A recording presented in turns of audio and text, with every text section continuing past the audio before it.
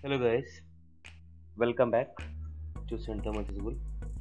Today we are going to see the second part of lesson number 5 that is Introduction to Operating System. So let's get started. Typical components of an operating system. We know in from the previous video operating system is the system software which coordinates, manages, operates, process all the resources I means all the peripherals input devices, output devices and some other devices which are connected to the CPU. So here we are going to see what are the typical components of an operating system means what are the parts of operating system which helps operating system to coordinates, manage, operates, process. So let's see. The typical components of an operating system are given below. The device drivers, the kernel, the shell. The device drivers. The device drivers are small programs that contains the instructions necessary for using the device like printer, scanner, etc. You might have heard when we attach our the uh, uh, printer or a scanner or mobile phone to the computer. So in the notification area, it is saying that it's ready to work or sometime what happens it's not supporting due to not having the drivers so every device has a set of drivers which helps to run that particular device which we are going to attach to the CPU. Some device drivers come with operating system, some may have to be installed separately from a disk or, or the internet. As we know when we install the operating system, some of the drivers are installed along with it but some of the drivers are not installed. For that we need to install the additional software for that particular devices which you want to run through the system.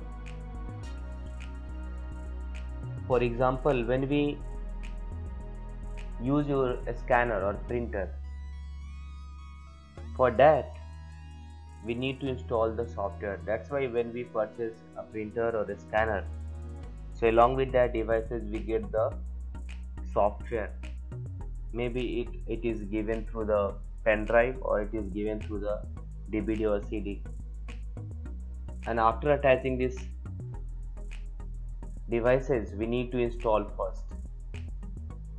And once we install then your printer will work as smoothly your scanner will work smoothly. If you don't install this then that will be not work smoothly.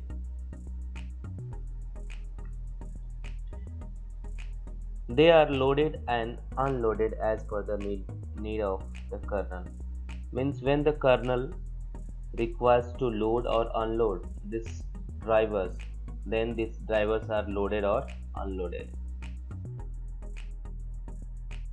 The kernel. The kernel is core components or the main program of the operating system. A traditional kernel performs all key functions of an operating system, including detecting new hardware when attached and loading appropriate device drivers to access it, accessing and controlling all hardware devices, resource allocations and management, creating stopping and controlling programs executions providing CPU input output and memory protections input output management security etc so we can say the kernel is the most core component of the operating system which has main functions like detecting the new hardware when we attach uh, any devices then that is detected. So that is the work of kernel. It find out the appropriate devices which are going to be attached to the CPU if it is there then it will be attached. Otherwise it will be given the notification to the users it's not supporting or drivers are needed then we go for installing the drivers. It also helps to access the devices controlling the hardware devices. Resource allocations. Resource allocations means for example suppose if you are going to save some file or if you are going to do some process in the computer memory. So it's a duty of kernel to check whether the spaces are there in the RAM or main memory to do the process or not. If the process are not there then it show the message to us. Or when we save any file to the secondary storage it also check whether the sufficient space is there or not. If there is no sufficient space so you have seen sometime it is so that you need to delete some files so that is the work of kernel not that only it also helps to create a new process for stopping the process. It controls all the program executions which program will be executed and when it will be stopped. CPU management input output management means all the input devices like keyboard mouse these all are controlled and managed memory protections. If there is a protections and if someone is trying to access it and which has no permission so that is protected by the kernel input output management and security etc so we can say the kernel is the most important part of this operating system. The shell the shell allows the users to express their wishes, means what they want the computer to do. To do the computer system by providing a user interface. Means using this shell, we operate our application softwares. We use our the hardwares, we complete our the task. So through this, we give our instructions to the computer to do the task. There are two main types of user interface.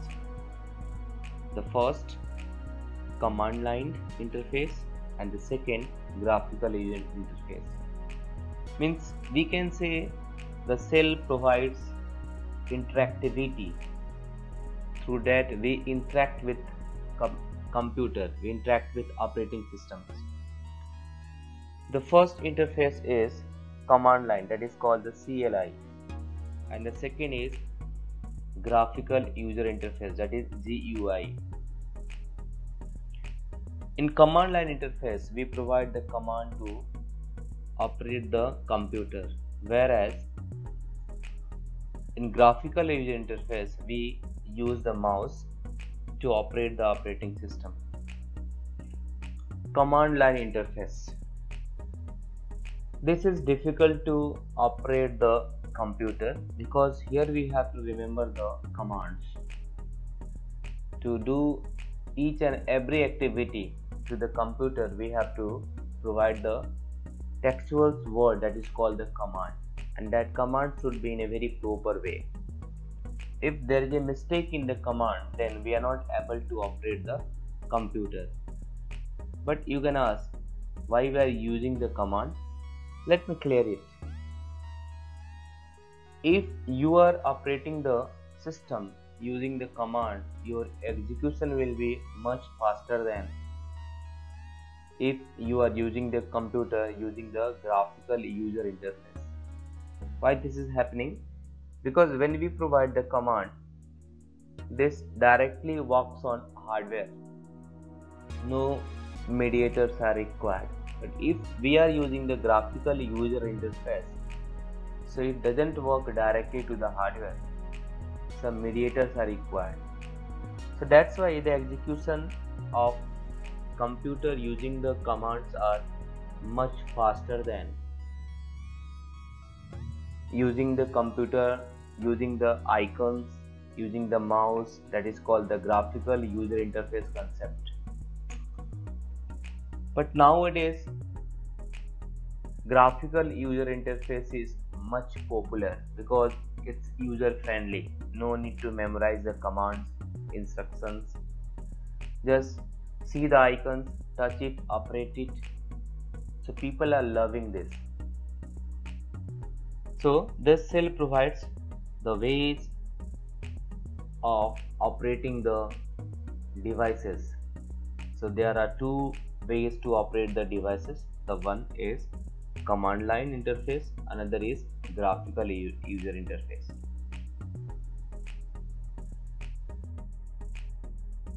Now we'll talk about the file system. The operating system provides a file system interface to secondary storage. Basically what happens when we work with a computer? So we make a file and after making the file we need to save it so we need some system which stores your data to the devices. And basically all the data are stored to the secondary devices not to the primary devices. Primary devices are only for computations or doing some process. After completing the process these are saved to the secondary storage device. So we need some system a file system chiefly contains two types of objects files and directories. Directories are also known as folders. A file is a basic unit of secondary data storage on computers. You have seen when we open your computer i mean the my computer so there will be some icon of drive local disk local disk E local disk F local disk C and so on so these various drives are known as directories or folders and when you keep when you click on any one drive like C drive or D drive or F drive or local disk D, local disk C. So we will be see some other sub folders are coming or directories are coming. And inside that folders or directories we keep some other directories. And inside some other subdirectories we keep some files.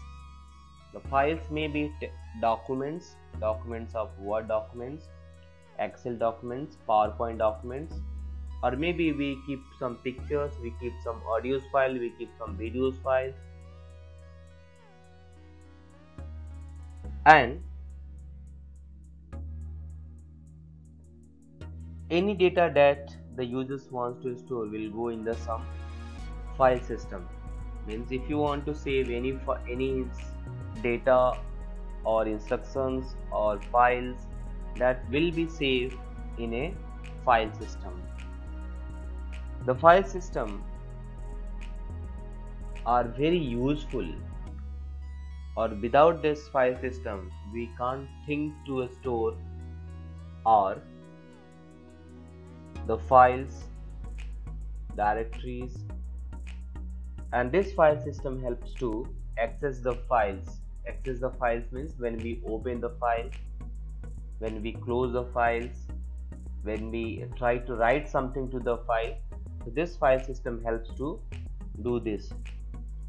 The file systems or the files are identified by their names which are much easier for humans to remember than absolute address known as block numbers.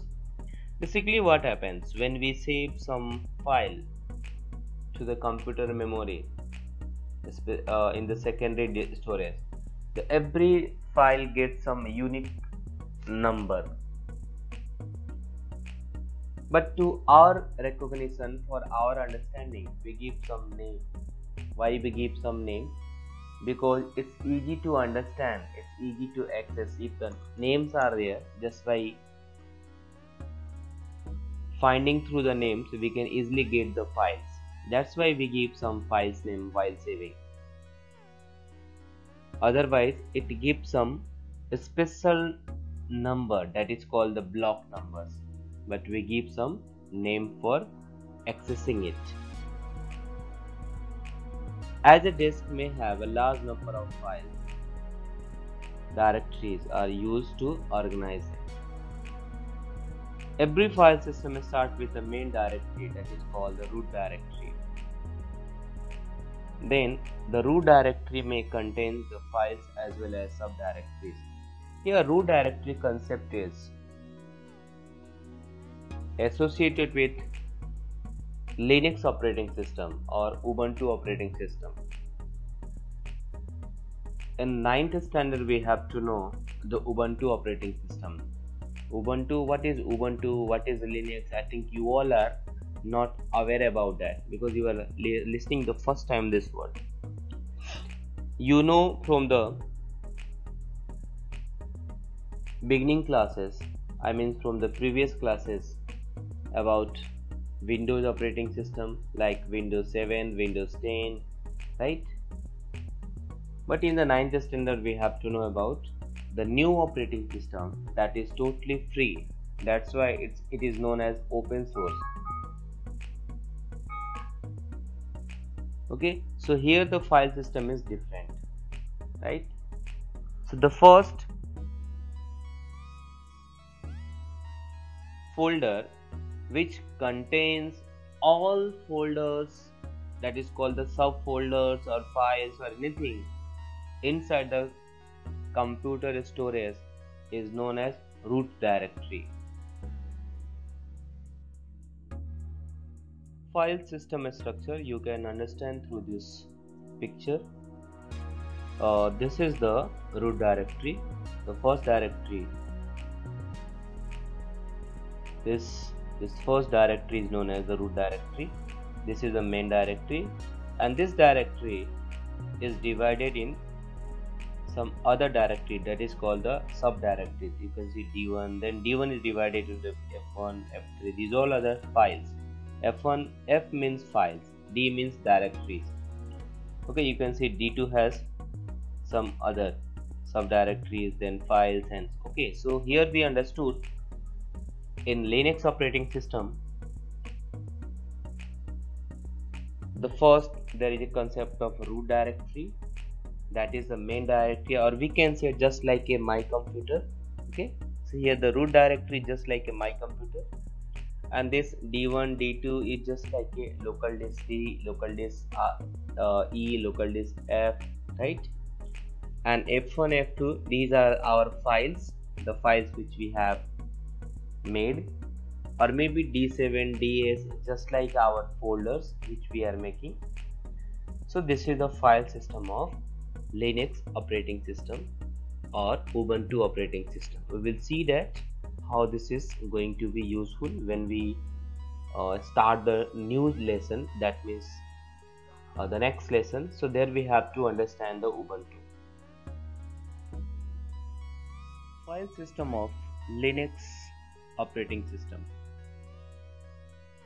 So here we are talking about how the Linux operating system is storing the files. So it uses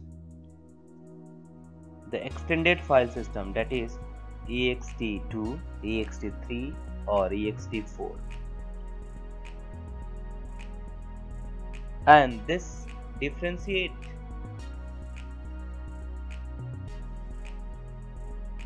the two file system having the same name but having in different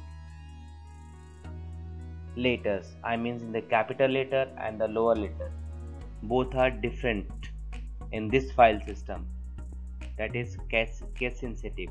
You can see they are quite powerful and features rich file system. Rich file system means the extended file system is case sensitive that is capital and small letters are treated as two different characters. For example you can see the one file name is f1 another file name is f1 but the difference is that here the small f and here the capital F. Both are stored in the same directory. There is no any problem in the linux operating system.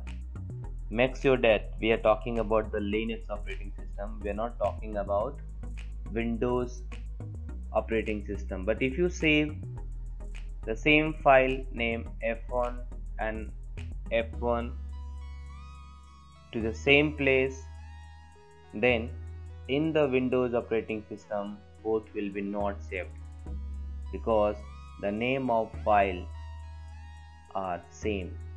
But in linux operating system if you are giving the same file name but the writing style is different. I means one is written in a capital letter another is written in a small letter.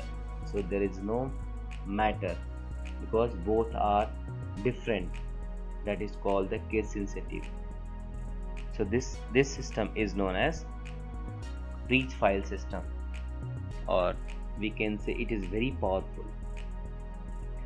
It use slash character as a path separator. Path separator means if two three files are connected. For example root file then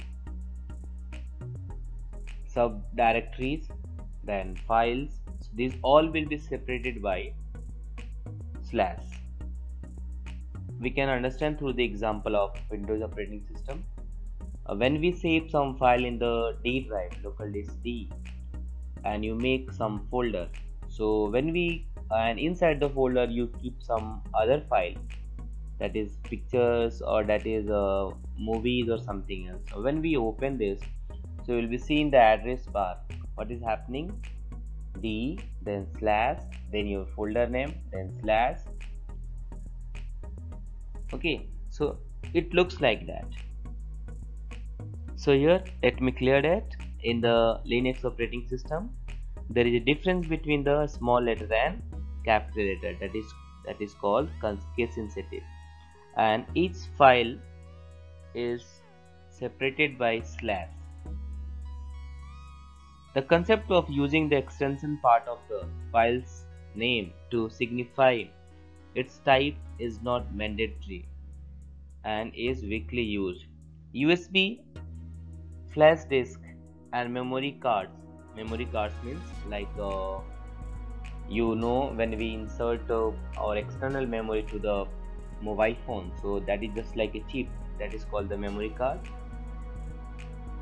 So this is uh, formatted with fat file system. Fat file system means file allocation table that is developed for personal computers if you talk about the fat system so that is developed for personal computers originally developed in 1977 for use on floppy disk. You will ask what is floppy disk? Nowadays it is not used. Floppy disk just like a uh, we can say it is in the shape of a square. Nowadays it's it is not used due to uh, using the new technology using the pen drive and chip but this fat file system is developed by the personal computers in 1977 and it that time it was used for floppy disk. Okay. Uh, we if you go in the major uh, uh, variant so it has a different variant like fat 12 fat 16 fat 32 right okay now we are talking about the next file system. That is NTFS this is the new technology. NTFS means new technology file system. To obtain the benefits of the performance and some security. It means uh, what are the difference in this fat and NTFS the fat is the old method for storing the files but NTFS is the new method for storing the files so what will be benefit the benefit is that NTFS is much faster much secure than the FAT. CDS generally use the ISO 9660 file system. What is this? ISO 9660 file system. This is the file system that is used by the CDS to storing the data while the DVD use UDF file system. What is UDF? Can you say what is UDF file system? This file system is used by the DVD. UDF means Universal Disk Format. I repeat, UDF means Universal Disk Format. That system is used by the this DVD. Nowadays, we are not using the DVD uh, due to having the online concept, cloud cloud uh, computing concept, or pen drive. CDs generally use ISO 9660 These different file system have different characteristics. Thank you friends for watching this video. We will meet again in the next video. Thank you, thank you, thank you so much.